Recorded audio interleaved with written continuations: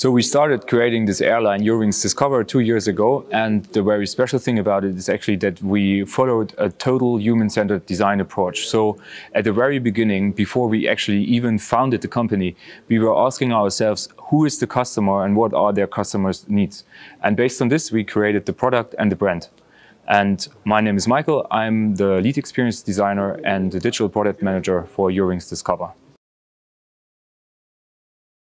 So the project scope was about to equip all of our 10 aircrafts, which we have in our operations in this year with BoardConnect. So it took us 10 months in total to uh, fulfill this goal, which was a rocket time from all of the team.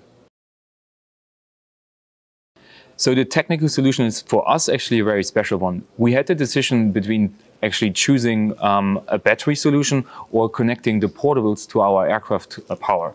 We decided for the aircraft power because we wanted to have a solution to reduce the crew contact, and this is what it does. Thanks to BoardConnect, uh, we have a platform where we as a company can actually distribute our own content very easily, quick, and mostly cost efficient. This is the biggest advantage to the backseat IFE. It's a pleasant uh, partnership with them. And as I already mentioned, it took us 10 months to actually equip 10 aircraft, which is a really, really short amount of time.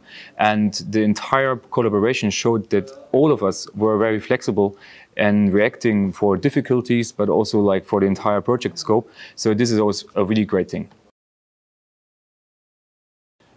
Um, based on the very tough deadlines, we didn't have any plan or like any time actually to make a proper planning for the equipment of the aircraft or even for the project.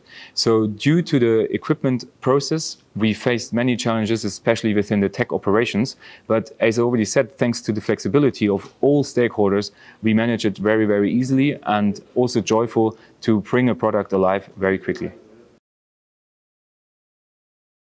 So the long-term goals are on the one hand that we really want to learn with the product and through the usage from our guests to create a future in-flight entertainment experience which is also based on the bring your own device.